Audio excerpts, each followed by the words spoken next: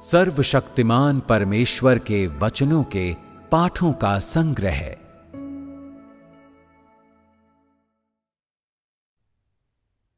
देह धारण का रहस्य। एक,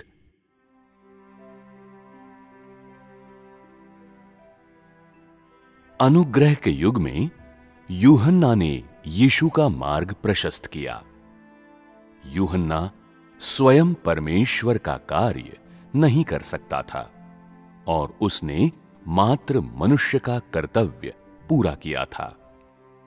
यद्यपि यूहन्ना प्रभु का अग्रदूत था, फिर भी वो परमेश्वर का प्रतिनिधित्व करने में असमर्थ था। वो पवित्र आत्मा द्वारा उपयोग किया गया मात्र एक मनुष्य था। यीशु के बपतिस्मा लेने के बाद पवित्र आत्मा कबूतर के समान उस पर उतरा। तब यीशु ने अपना काम शुरू किया। अर्थात उसने मसीह की सेवकाई करनी प्रारंभ की। इसीलिए उसने परमेश्वर की पहचान अपनाई, क्योंकि वो परमेश्वर से ही आया था। भले ही इससे पहले उसका विश्वास कैसा भी रहा हो वो कई बार दुर्बल रहा होगा या कई बार मज़बूत रहा होगा। ये सब अपनी सेवकाई करने से पहले के उसके सामान्य मानव जीवन से संबंधित था। उसका बपतिस्मा होने के पश्चात उसके पास तुरंत ही परमेश्वर का सामर्थ्य और महिमा आ गई। और इस प्रकार उसने अपनी सेवकाई करनी आरंभ की।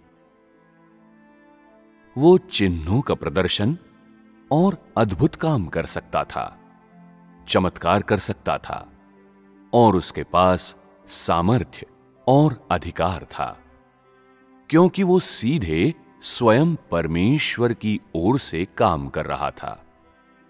वो पवित्रात्मा के स्थान पर उसका काम कर रहा था और पवित्रात्मा की आवाज़ व्यक्त कर रहा था।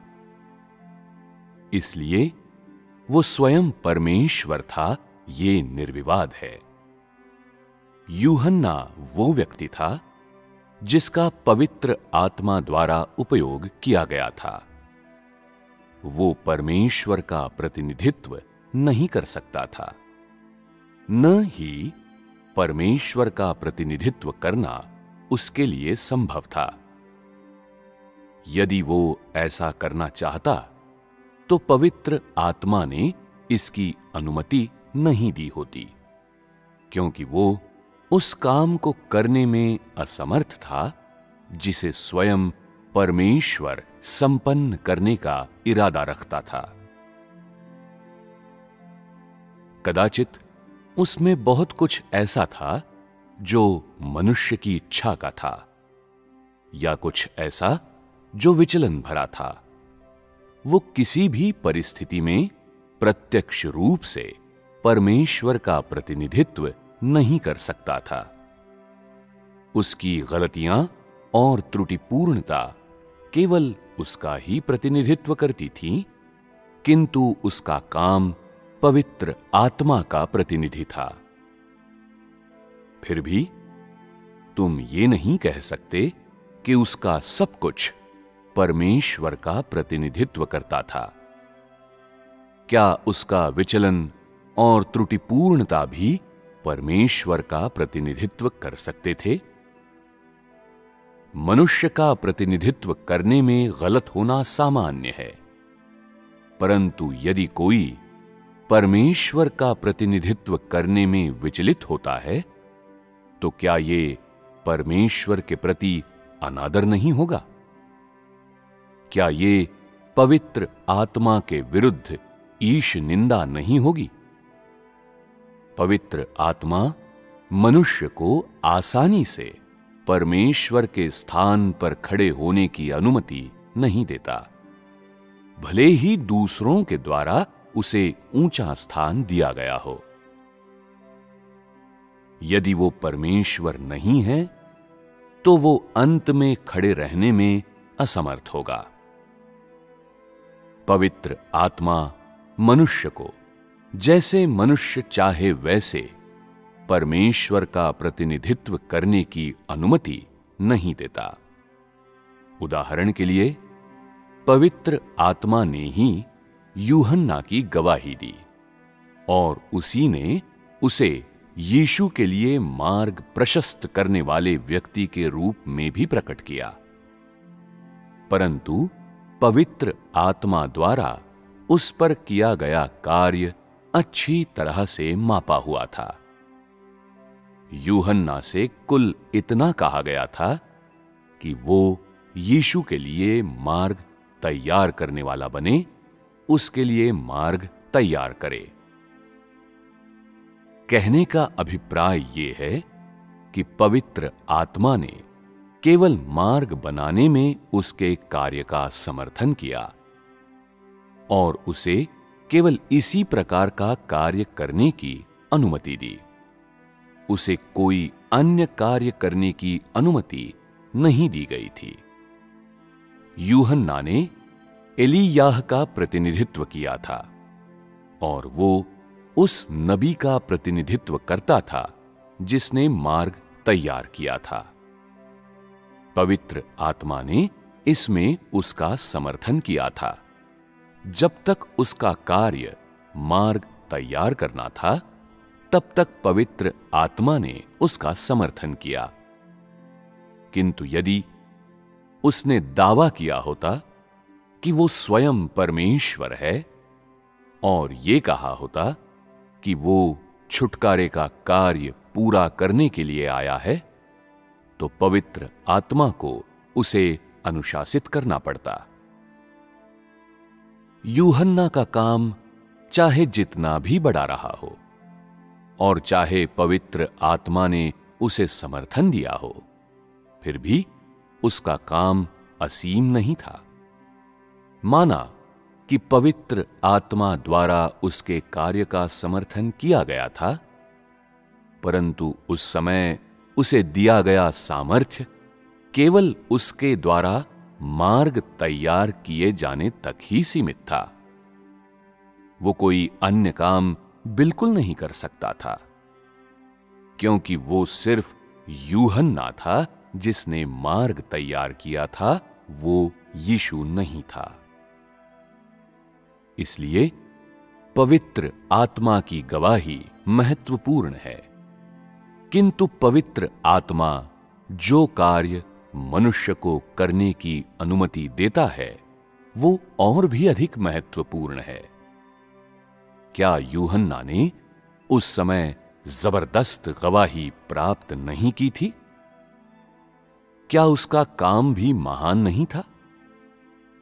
किंतु जो काम उसने किया, वो यीशु के काम से बढ़कर नहीं हो सका, क्योंकि वो पवित्र आत्मा द्वारा उपयोग किए गए व्यक्ति से अधिक नहीं था, और वो सीधे परमेश्वर का प्रतिनिधित्व नहीं कर सकता था, और इसलिए उसने जो काम किया, वो सीमित था। जब उसने मार्ग तैयार करने का काम समाप्त कर लिया। पवित्र आत्मा ने उसके बाद उसकी गवाही बरकरार नहीं रखी। कोई नया काम उसके पीछे नहीं आया और स्वयं परमेश्वर का काम शुरू होते ही वो चला गया। कुछ ऐसे लोग हैं जो दुष्टात्माओं से ग्रस्त हैं और ज़ोर ज़ोर से चिल्लाते रहते हैं। मैं परमेश्वर हूँ। लेकिन अंत में उनका भेद खुल जाता है, क्योंकि वे गलत चीज़ का प्रतिनिधित्व करते हैं। वे शैतान का प्रतिनिधित्व करते हैं, और पवित्र आत्मा उन पर कोई ध्यान नहीं देता। तुम अपने आप को कितना भी बड़ा ठहराओ, या तुम कितना भी ज़ोर से चिल्लाओ तुम फिर भी एक सृजित प्राणी ही रहते हो, और एक ऐसा प्राणी जो शैतान से संबंधित है। मैं कभी नहीं चिल्लाता। मैं परमेश्वर हूँ। मैं परमेश्वर का प्रिय पुत्र हूँ। परंतु जो कार्य मैं करता हूँ, वो परमेश्वर का कार्य है। क्या मुझे चिल्लाने की आवश्यकता है? मुझे ऊँचा उठाए जाने की कोई आवश्यकता नहीं है। परमेश्वर अपना काम स्वयं करता है और वो नहीं चाहता कि मनुष्य उसे हैसियत या सम्मानजनक उपाधि प्रदान करे। उसका काम, उसकी पहचान और हैसियत का प्रतिनिधित्व करता है। अपने बपतिस्मा से पहले क्या यीशु स्वयं परमेश्वर नहीं था? क्या वो परमेश्वर द्वारा धारित देह नहीं था? निश्चित रूप से ये नहीं कहा जा सकता कि केवल गवाही मिलने के पश्चात ही वो परमेश्वर का इकलौता पुत्र बना। क्या उसके द्वारा काम शुरू करने से बहुत पहले ही यीशु नाम का कोई व्यक्ति नहीं था? तुम नए मार्ग लाने या पवित्र आत्मा का प्रतिनिधित्व करने में असमर्थ हो। तुम पवित्र आत्मा के कार्य को या उसके द्वारा बोले जाने वाले वचनों को व्यक्त नहीं कर सकते। तुम स्वयं परमेश्वर का या पवित्र आत्मा का कार्य करने में असमर्थ हो। परमेश्वर की बुद्धि चमत्कार और अगाधता, और उसके स्वभाव की समग्रता, जिसके द्वारा परमेश्वर मनुष्य को ताड़ना देता है, इन सबको व्यक्त करना तुम्हारी क्षमता के बाहर है। इसलिए परमेश्वर होने का दावा करने की कोशिश करना व्यर्थ होगा। तुम्हारे पास सिर्फ़ नाम होगा और कोई सार नहीं होगा। स्वयं परमेश्वर आ गया है, किंतु कोई उसे नहीं पहचानता। फिर भी वो अपना काम जारी रखता है और ऐसा वो पवित्रात्मा के प्रतिनिधित्व में करता है। चाहे तुम उसे मनुष्य कहो या परमेश्वर, प्रभु कहो या मसीह, या उसे बहन कहो, इससे कोई फ़र्क नहीं पड़ता। परंतु जो कार्य वो करता है, वो पवित्रात्मा का है।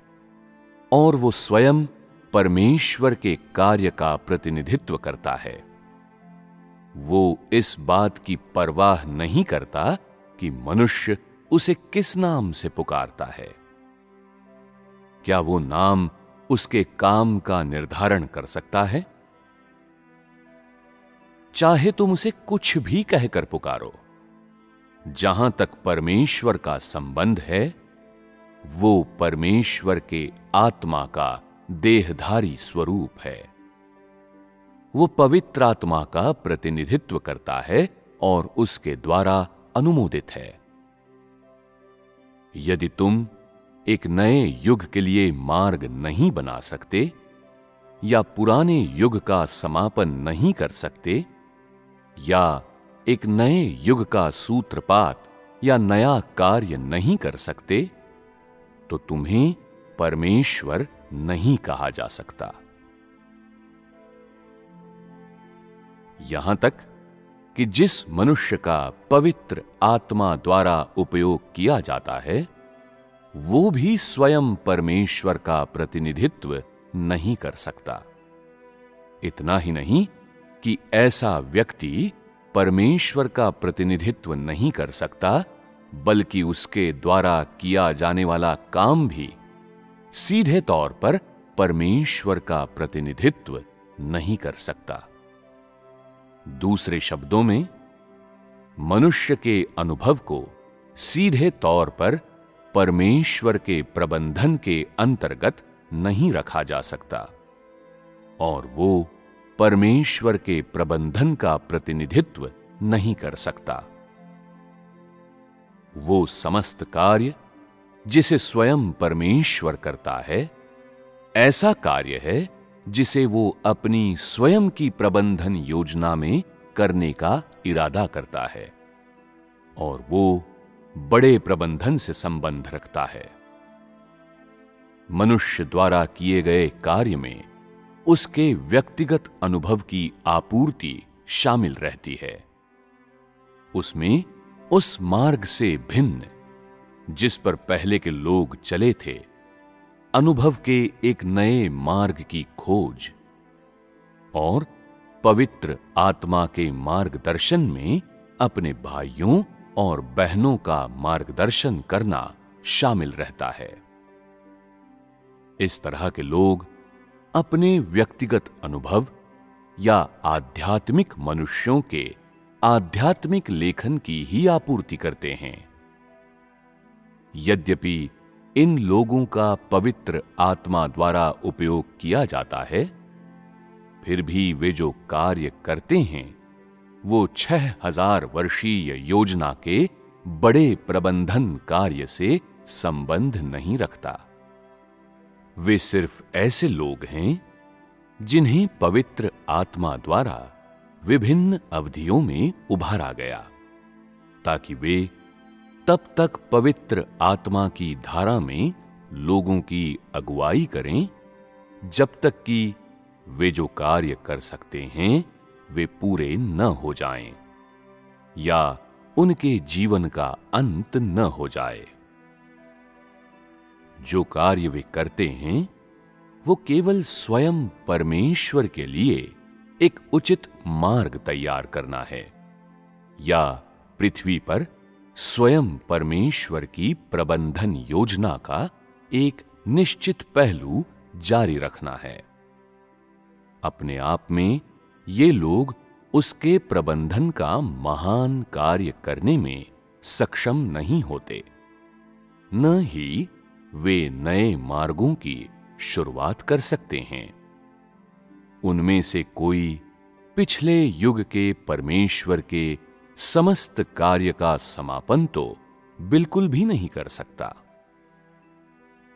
इसलिए जो कार्य वे करते हैं, वो केवल अपने कार्य संपन्न करने वाले एक सृजित प्राणी का प्रतिनिधित्व करता है। वो अपनी सेवकाई संपन्न करने वाले स्वयं परमेश्वर का प्रतिनिधित्व नहीं कर सकता। ऐसा इसलिए है क्योंकि जो कार्य वे करते हैं, वो स्वयं परमेश्वर द्वारा किए जाने वाले कार्य के समान नहीं है। एक नए युग की शुरुआत करने का कार्य ऐसा नहीं है जो परमेश्वर के स्थान पर मनुष्य द्वारा किया जा सकता हो। इसे स्वयं परमेश्वर के अलावा किसी अन्य के द्वारा नहीं किया जा सकता। मनुष्य के द्वारा किया जाने वाला समस्त कार्य एक सृजित प्राणी के रूप में उसके कर्तव्य का निर्वहन है और वो तब किया जाता है जब पवित्र आत्मा द्वारा उसे प्रेरित या प्रबुद्ध किया जाता है। इन लोगों द्वारा प्रदान किया जाने वाला मार्गदर्शन, मनुष्य को बस दैनिक जीवन में अभ्यास का मार्ग दिखाना और ये बताना होता है कि उसे किस प्रकार परमेश्वर की इच्छा के साथ समरसता में कार्य करना चाहिए। मनुष्य के कार्य में न तो परमेश्वर की प्रबंधन योजना सम्मिलित है, और न ही वो पवित्रात्मा के कार्य का प्रतिनिधित्व करता है। उदाहरण के लिए, गवाह ली और वॉचमैन नी का कार्य मार्ग की अगुवाई करना था। मार्ग चाहे नया हो या पुराना, कार्य बाइबल के सिद्धांतों के भीतर ही बने रहने के आधार पर किया गया था। चाहे स्थानीय कलिसियाओं को पुनर्स्थापित करना हो, या स्थानीय कलिसियाओं को बनाना हो, उनका कार्य कलिसियाओं की स्थापना से संबंधित था। उनके द्वारा किए गए कार्य ने उस कार्य को आगे बढ़ाया जिसे यीशु और उसके प्रेरितों ने समाप्त नहीं किया था, या अनुग्रह के युग में आगे विकसित नहीं किया था। उन्होंने अपने कार्य में उस चीज़ को बहाल किया, जिसे यीशु ने अपने प्रारंभिक कार्य में अपने बाद आने वाली पीढ़ियों से करने को कहा था। जैसे कि अपना सिर ढक कर रखना, बपतिस्मा लेना, रोटी साझा करना या दाखरस पीना। यह कहा जा सकता है कि उनका कार्य बाइबल का पालन करना था और बाइबल के भीतर ही मार्ग तलाशना था। उन्होंने किसी तरह के कोई नए प्रयास नहीं किए, इसलिए कोई उनके कार्य में केवल बाइबल के भीतर ही नए मार्गों की खोज और साथ ही बेहतर और अधिक यथार्थवादी अभ्यास ही देख सकता है। किंतु कोई उनके कार्य में परमेश्वर की वर्तमान इच्छा नहीं खोज सकता और उस कार्य को तो बिल्कुल नहीं खोज सकता जिसे अंत के दिनों में करने की परमेश्वर की योजना है। ऐसा इसलिए है क्योंकि जिस मार्ग पर वे चले, वो फिर भी पुराना ही था। उसमें कोई नवीनीकरण और नवीनता नहीं थी। उन्होंने यीशु को सलीब पर चढ़ाए जाने के तथ्य को पकड़े रखना, लोगों को पश्चाताप करने और अपने पाप स्वीकार करने के लिए कहने के अभ्यास का पालन करना और इस तरह की उक्तियों का पालन जारी रखा। जैसे कि, जो अंत तक सहन करता है, उसे बचा लिया जाएगा। और कि, पुरुष स्त्री का सिर है और स्त्री को अपने पति की आज्ञा का पालन करना चाहिए। यहाँ तक कि उन्होंने इस परंपरागत धारणा को भी बनाए रखा कि बहनें उपदेश नहीं दे सकती, वे केवल आज्ञा पालन कर सकती हैं। यदि इस तरह की अगुवाई जारी रही होती तो पवित्र आत्मा कभी भी नया कार्य करने, मनुष्यों को सिद्धांत से मुक्त करने, या उन्हें स्वतंत्रता और सुंदरता के राज्य में ले जाने में समर्थ नहीं होता। इसलिए कार्य का यह चरण, जो युग का परिवर्तन करता है, स्वयं परमेश्वर द्वारा किया और बोला जाना चाहिए। अन्यथा कोई व्यक्ति उसके स्थान पर ऐसा नहीं कर सकता। अभी तक इस धारा के बाहर पवित्र आत्मा का समस्त कार्य एकदम रुक गया है और जिन्हें पवित्र आत्मा द्वारा उपयोग किया गया था, वे दिग्भ्रमित हो गए हैं। इसलिए, चूँकि पवित्र आत्मा द्वारा उपयोग किए गए मनुष्यों का कार्य स्वयं परमेश्वर द्वारा किए गए कार्य से भिन्न है, इसलिए उनकी पहचान और जिन व्यक्तियों की ओर से वे कार्य करते हैं, वे भी उसी तरह से भिन्न हैं। ऐसा इसलिए है क्योंकि पवित्र आत्मा जिस कार्य को करने का इरादा करता है, वो भिन्न है। और इसलिए समान रूप से कार्य करने वालों को अलग अलग पहचान और हैसियत प्रदान की जाती है। पवित्र आत्मा द्वारा उपयोग किए जाने वाले लोग कुछ नया कार्य भी कर सकते हैं और वे पूर्व युग में किए गए किसी कार्य को हटा भी सकते हैं। किंतु उनके द्वारा किया गया कार्य नए युग में परमेश्वर के स्वभाव और उसकी इच्छा को व्यक्त नहीं कर सकता। वे केवल पूर्व युग के कार्य को हटाने के लिए कार्य करते हैं और सीधे तौर पर स्वयं परमेश्वर के स्वभाव और उसकी इच्छा का प्रतिनिधित्व करने के उद्देश्य से कोई नया कार्य करने के लिए कुछ नहीं करते। इस प्रकार, चाहे वे पुराने पढ़ चुके कितने भी अभ्यासों का उन्मूलन कर दें या वे कितने भी नए अभ्यास आरंभ कर दें। वे फिर भी मनुष्य और सृजित प्राणियों का प्रतिनिधित्व करते हैं। किंतु जब स्वयं परमेश्वर कार्य करता है तो वो खुलकर प्राचीन युग के अभ्यासों के उन्मूलन की घोषणा नहीं करता, या सीधे तौर पर नए युग की शुरुआत की घोषणा नहीं करता। वो अपने कार्य में स्पष्ट और ईमानदार है। वो उस कार्य को करने में बेबाक है, जिसे करने का वो इरादा रखता है। अर्थात, वो उस कार्य को सीधे तौर पर व्यक्त करता है, जिसे उसने किया है। वो अपने अस्तित्व और स्वभाव को व्यक्त करते हुए अपने मूल इरादे के अनुसार सीधे तौर पर अपना कार्य करता है। जैसा कि मनुष्य देखता है, उसका स्वभाव और कार्य भी पिछले युगों से भिन्न हैं। किंतु स्वयं परमेश्वर के दृष्टिकोण से ये मात्र उसके कार्य की निरंतरता और आगे का विकास है। जब स्वयं परमेश्वर कार्य करता है तो वो अपने वचन व्यक्त करता है और सीधे नया कार्य लाता है।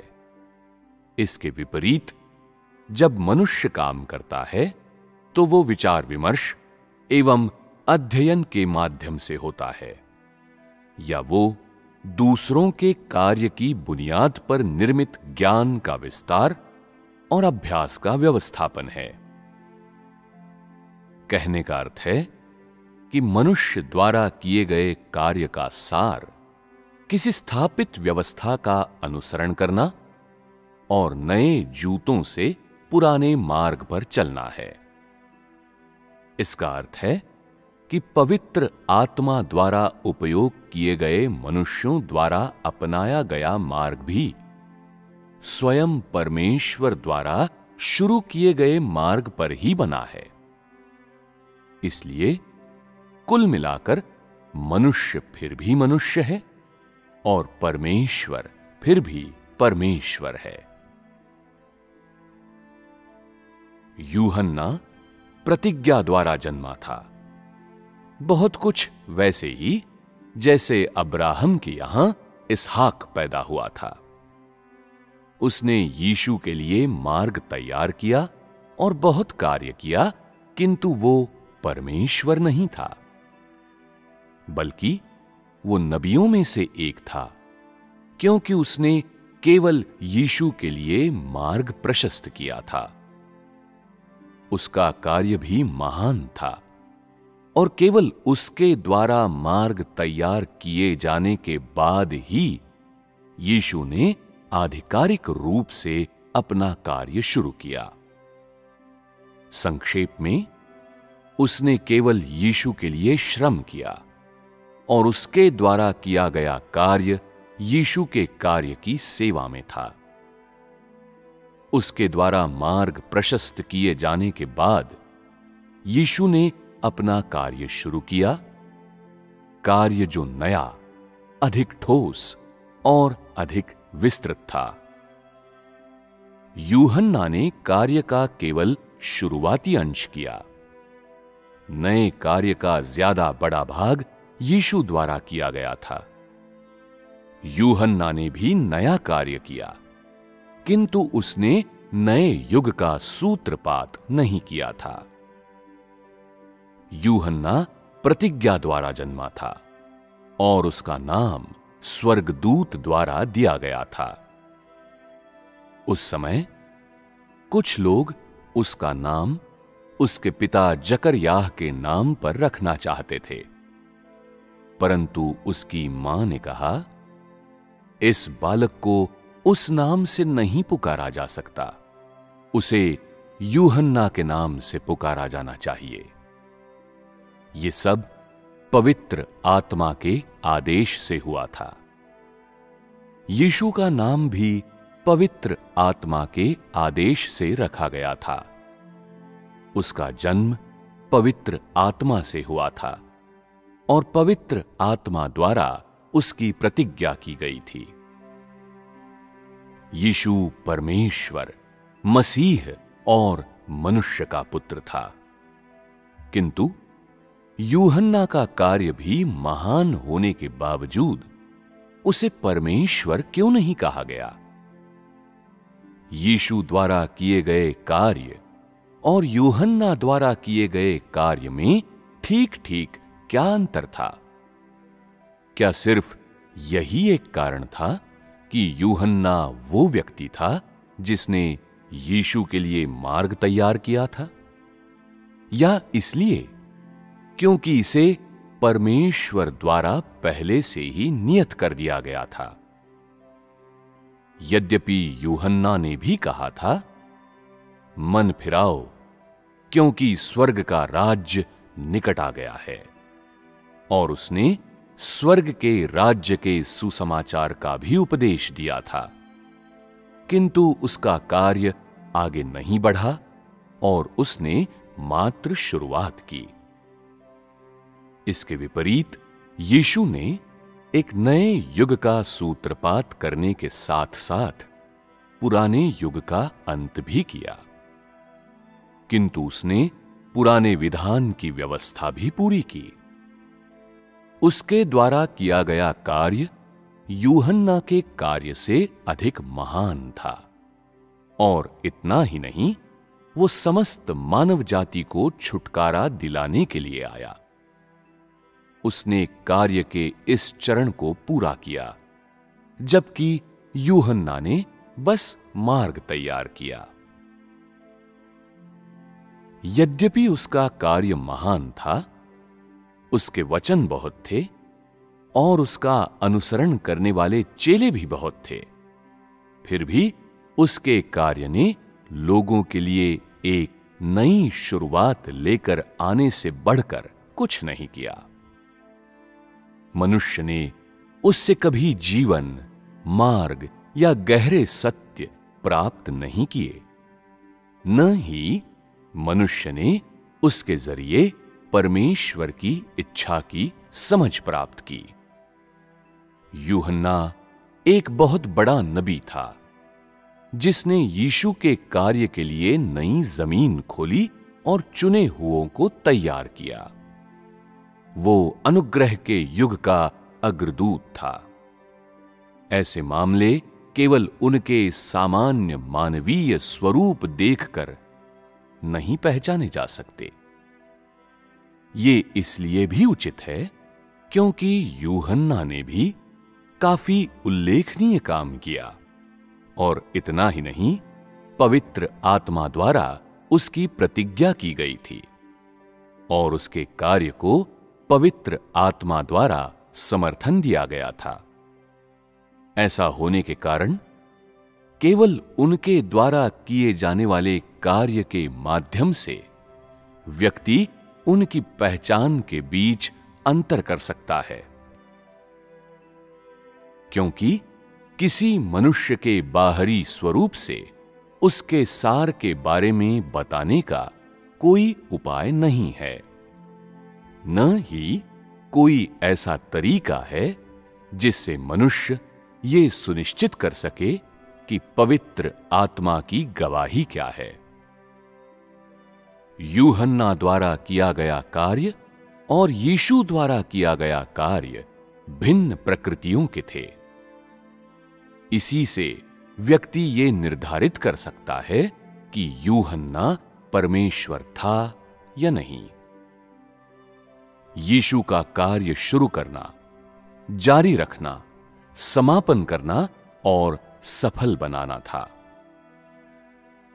उसने इनमें से प्रत्येक चरण पूरा किया था, जबकि यूहन्ना का कार्य शुरुआत से अधिक और कुछ नहीं था।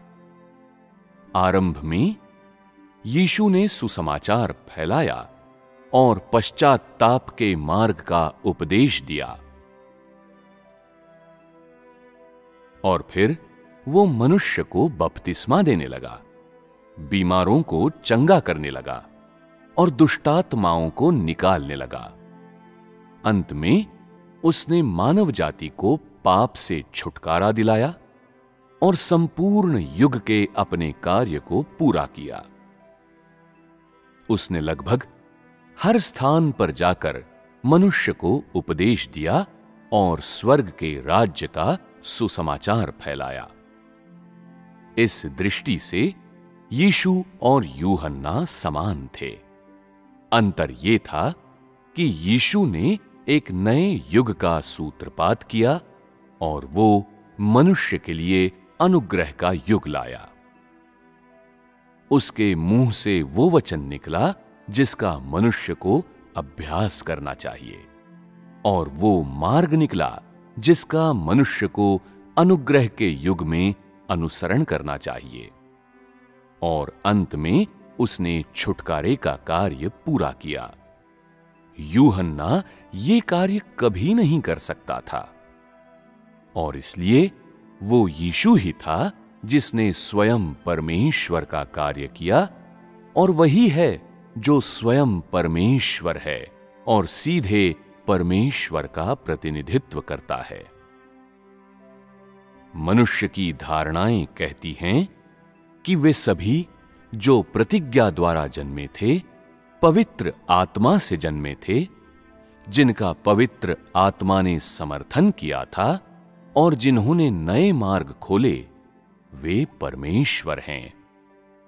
इस तर्क के अनुसार यूहन्ना भी परमेश्वर होगा और मूसा, अब्राहम और दाऊद, ये सब भी परमेश्वर होंगे। क्या ये निरा मज़ाक नहीं है?